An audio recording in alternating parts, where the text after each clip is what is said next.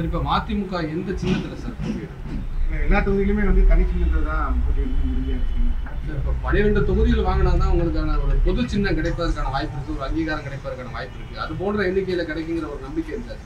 Sir இப்போ இந்த முறை திமுக கூட்டணியில வந்து கூட்டணி கட்சிகளுக்கு தொகுதிகள் ஒது- ஒதுக்குவதில் வந்து திமுக தலைமை வந்து ஒரு கராறு காட்டுவதாக கூறப்படுகிறது.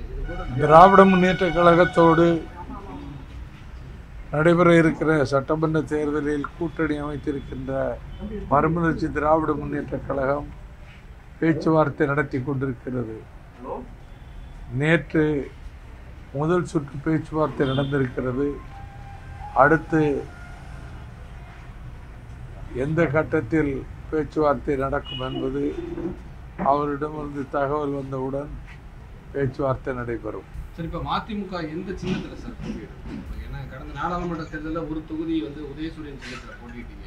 இந்த முறை எந்த சின்னத்துல போட்டியிடுவதற்கான முடிவுல இருக்கு? அது இப்போ சொல்ல முடியாது. அது தொகுதிகள்லாம் அலாட் பண்ண பிறகு அதுக்கு பிறகு தான் சொல்ல முடியும். எல்லா தொகுதியிலுமே வந்து தான் போட்டியிடணும் உறுதியாக இருக்குங்க.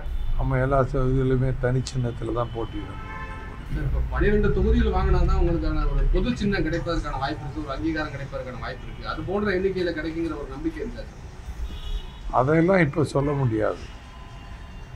அந்த யூக அந்த யூகங்களுக்கெல்லாம் நான் இப்போ பதில் சொல்ல முடியாது. இந்த கூட்டணியோட வெற்றி வாய்ப்பு எப்படி இருக்கு? இந்த கூட்டணி உறுதியாக வெற்றி பெறும். கட்சியோட அங்கீகாரத்தை பெறுவதற்காக அந்த பன்னெண்டு தொகுதி வரைக்கும் வாங்க வாய்ப்பு இருக்குமா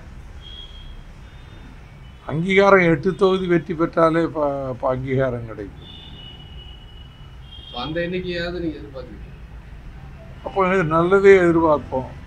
உங்களுடைய பிரச்சாரம் என்னைக்கு தொடங்குறதுக்கு? அதே போல மதிமுகவுடைய தேர்தல் அறிக்கை தயாரிக்கக்கூடிய பணிகள் எப்படி இருக்கு? தேர்தல் அறிக்கை தயாரிப்பு பணிகள் நடைபெற்று கொண்டிருக்கின்றது. அத்தேர்தல் அறிக்கை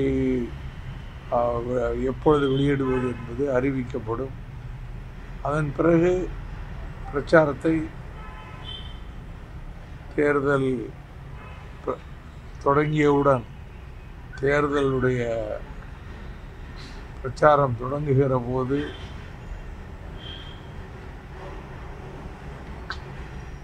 முதல் நாள்லேருந்து தொடங்குறதுக்கான வாய்ப்பு இருக்குது நான் தொடங்குவோம்.